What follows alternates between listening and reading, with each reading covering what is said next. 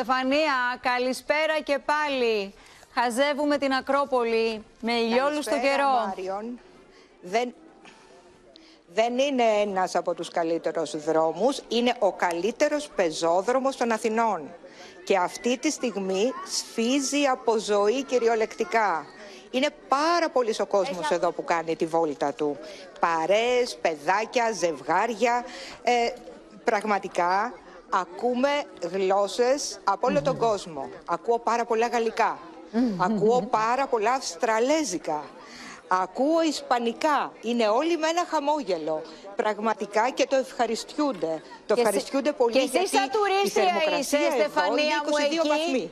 Κοίταξε να δεις, έχεις βάλει και το σακιδιάκι στην πλάτη. Για να τη δούμε λίγο τη Στεφανία. Είναι με το σακιδιάκι της στην πλάτη. Έχει φτάσει μπροστά στο Μουσείο της Ακρόπολης και σωστά γράφουμε και από κάτω ότι τρία Ακριβώς. μουσεία σήμερα ανοίγουν τις πόρτες τους ε, με δωρεάν α, ελεύθερη είσοδο. Έτσι. Και εσύ λοιπόν μαζί Και με ο- τους τουρίστες... Και ο κόσμος το βόλτα. εκμεταλλεύεται. Ναι.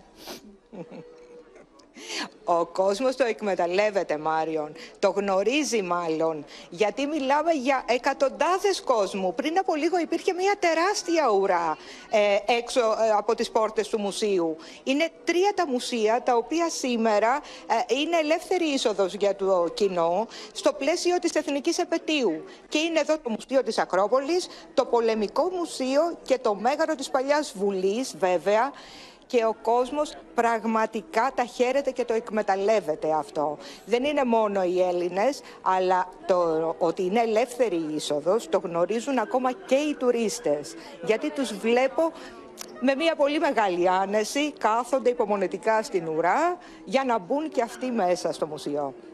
Στεφανία, ε, όπως λες και εσύ, ε, έχουμε ήδη αυτή τη στιγμή τουρίστες α, στην α, Αθήνα και η αλήθεια είναι ότι το έχουμε πετύχει η Αθήνα να είναι ένας προορισμός, κεντρικός προορισμός για τους ξένους τα τελευταία χρόνια.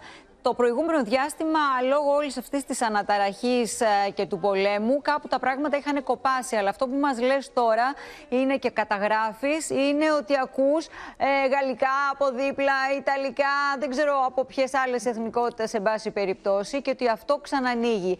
Και είναι πολύ σημαντικό και για τη χώρα μας. Και,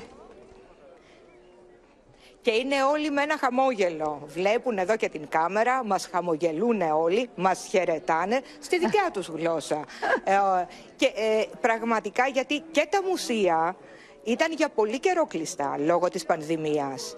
Και Ναι. πολλοί κόσμος δεν μπορούσε και να ταξιδέψει. Και τώρα πραγματικά λες και ξεχύθηκαν στο δρόμο είναι. Και οι Έλληνες για να χαρούν τον ήλιο, αλλά και οι τουρίστες για να χαρούν και τις ομορφιές της πατρίδας μας. Στεφανία, σε ευχαριστώ πολύ. Σε ευχαριστώ πολύ για τις όμορφες ε, εικόνες. Χαζεύουμε κι εμείς, παιδάκια, νεολαία, πιο μεγάλοι άνθρωποι, τουρίστες.